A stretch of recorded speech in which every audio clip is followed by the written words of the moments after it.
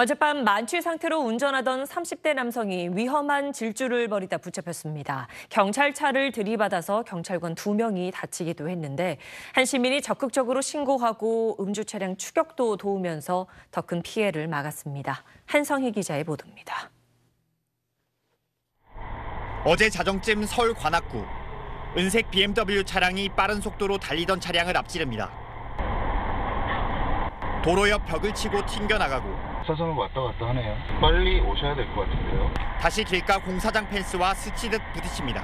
방금 음주 의심 신고했는데요. 서울대 입구 쪽으로 가고 있는데 계속 잠시 뒤 출동한 경찰이 따라붙습니다. 정차 요구를 무시하고 도주한 차량은 3km 넘게 달려 주택가인 이곳에서 멈췄고 운전자는 경찰에 검거됐습니다. 32살 남성이었는데 혈중 알코올 농도는 면허 취소 기준을 훌쩍 넘는 0.12%였습니다. 음주 차량은 추격을 피하다 경찰차 두 대를 들이받기도 했는데 경찰관 두 명이 허리 등을 다쳐 치료를 받고 있습니다.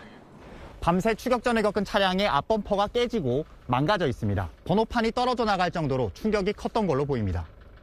더 큰 사고를 막을 수 있었던 건 차량을 직접 뒤쫓으며 적극적으로 신고한 시민 덕분이었습니다.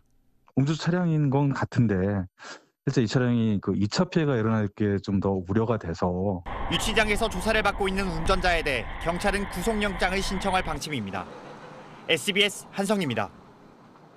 네, 안녕하십니까. 김현우입니다. 더 많은 뉴스와 라이브 이벤트를 보고 싶으시면 화면 오른쪽을 눌러서 구독해 보시길 바라겠습니다. 또 저희 SBS 앱을 다운로드 하시면 속보 알림도 받아 보실 수 있습니다. 항상 저희 SBS 뉴스를 시청해 주셔서 대단히 고맙습니다.